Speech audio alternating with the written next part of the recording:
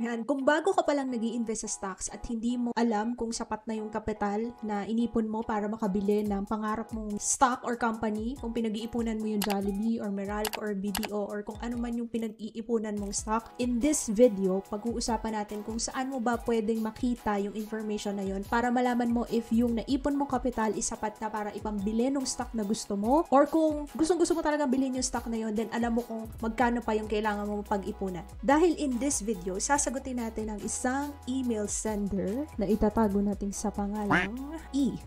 So, pakita natin yung question niya. Okay, ito yung question niya. Saan ko po makikita ang mapagpipilian kung magsisimula ako sa maliit na investment? So, hindi niya sinabi kung gaano kaliit yung maliit na investment, pero bibigyan ko kayo ng idea kung saan nyo pwedeng tingnan or saan nyo pwedeng makita kung magkano ba yung minimum na pwede mong bilhin ang isang company. So, may papakita ko sa inyong website at gagamit tayo ng konting math at calculator para makita natin yan. So, let's check out this website. Yung website lang na pupuntahan mo is pse.com.ph. So, patchin natin dito sa ating mahiwagang po.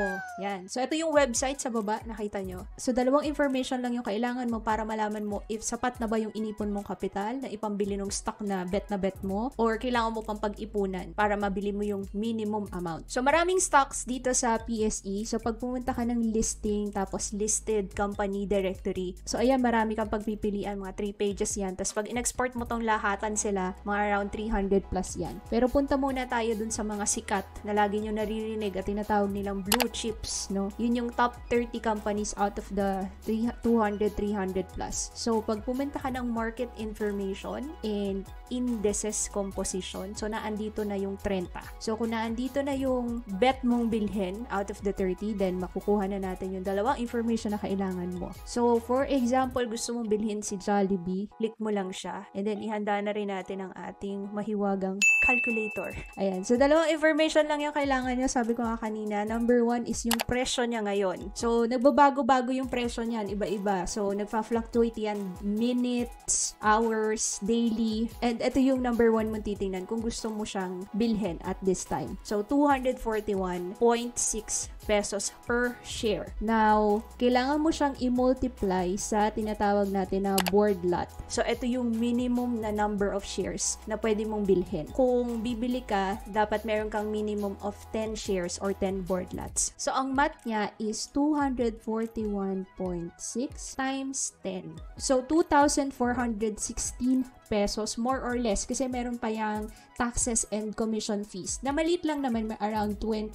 to 30 pesos pagka ganyang minimum. So, yun lang yung i-add mo. So, around 2,400 yung kailangan mo. So, kung meron kang 1,000 na pinag-ipunan, alam mo na kulang yon pambili ng Jollibee. So, hindi ka pa makakabili. Kailangan mo pang pag-ipunan yung natitira para makabili ka. So, in simplest term, yan yung kailangan mo. So, try pa tayo ng iba pang companies. Balik lang tayo. Uh, kunyari, gusto mong bumili ng SM naman, no? O, ito, SM. Yan, gusto mong bumili ng SM. So, ito naman yung presyo ng SM. As of this video, 900 pesos per share. At ang kanyang board lot ay 10 din. Comment mo sa comment section below magkano yung kailangan mo and let's see kung tama ang i-comment mo sa minimum. So, 900 times 10 kailangan mo ng 9,000 para makabili ng 10 shares of SM. So to answer yung question na nagtanong kanina na saan niya makikita ang mapagpipilian kung magsisimula pa lang siya sa maliit na investment,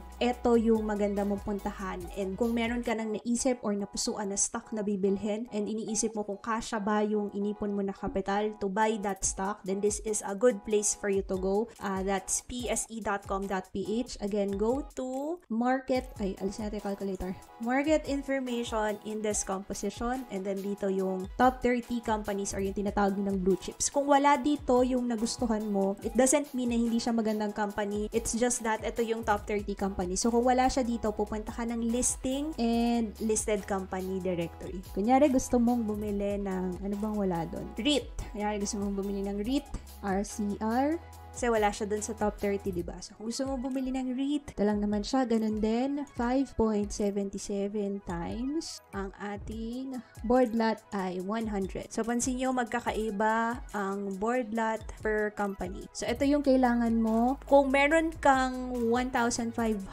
so you have more than 1,000 pesos, pwede kang bumili ng 200 shares. 5.77 times 200. Kasi itong board lot is kapag bumili ka ng stock by, ano siya, by hundreds. So, 100 shares, 200 shares, 300 shares. Ganun yung pagbili niya. Kapag naman 10, kagaya nung kanina, so ang pagbili niya is 10 shares, 20 shares, 30 shares. And yun lang yung simple explanation niya. I know for some of you, baka itanong niyo yung mga odd lot and all that, pero yun yung pinaka-simple way to compute and to find out kung yung inipon mong kapital is magkakasya sa pambili mo ng first stock or dun sa first investment mo. Now, kung medyo nahihirapan ka pa at hindi mo pa alam kung saan magsisimula para matutunan ito lalong pag invest sa stock market this year, maybe sometimes you just need the right person to guide you. So, whenever you are ready and if you want to start a journey with me to help enlighten you, good news, there are two links below in the description. Free ebook and a free web class that you can join for free. So, maraming salamat for watching this video and also follow me on Facebook, Instagram, and TikTok. That's one for the money dahil si Juan ay hindi tamad, madiskarte siya. See you all again on the next video.